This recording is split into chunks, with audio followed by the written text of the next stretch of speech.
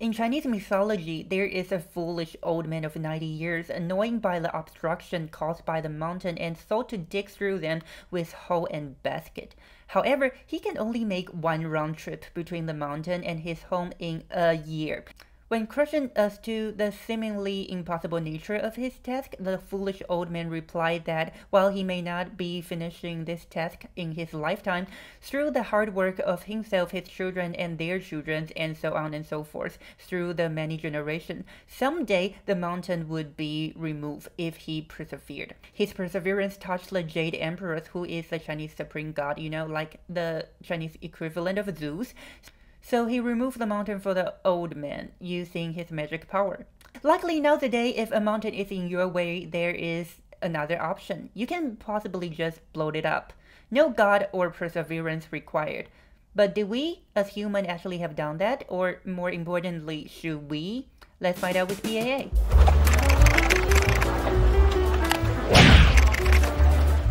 Hi, I'm Salcillo. Welcome to What People Also Ask, where I search something seemingly obvious and share with you some of this PAA, aka People Also Ask which is a feature telling you what other people are searching on Google that relate to your query. Today's query is Can we blow up a mountain? Before we dive into the topic, it's important to note that intentionally destroying natural landmark and ecosystem is not only dangerous but also um, unethical and should not be considered. That being said, let's explore the feasibility of blowing up a mountain.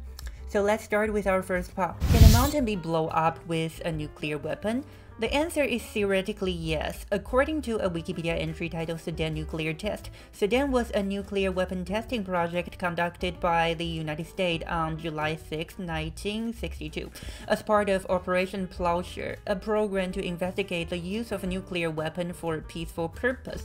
In this test, a shaft was drilled into the floor of the Nevada desert, approximately 200 meters, and then a roughly 100 kiloton thermonuclear device was lowered into the shaft and detonated. The nuclear explosion produced a crater about the size of a small mountain, measuring 400 meters in diameter and 100 meters deep. The crater was created in a sandfill alluvial deposit, so not on the mountain. If the test had been conducted in the mountain, the result may have been different, but theoretically it can remove the mountain quite a bit and significantly alter the landscape and, you know, provide a decent amount of nuclear fallout. So we probably don't want to do it. That being said, could we and had we done the light version of it, the one that does not blow up the whole mountain but just PAA of it? The answer is yes, it's called mountaintop removal. But should we do it? Let's talk about our next part.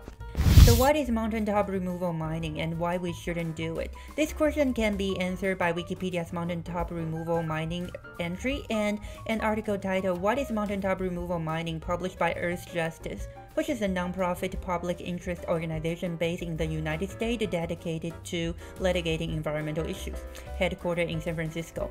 According to this two article, mountaintop removal mining is a type of surface mining that involves removing the top of the mountain in order to extract coal that is located near the surface. The land is first uh, deforested prior to mining operation, and then the resulting lumber is either sold or burned.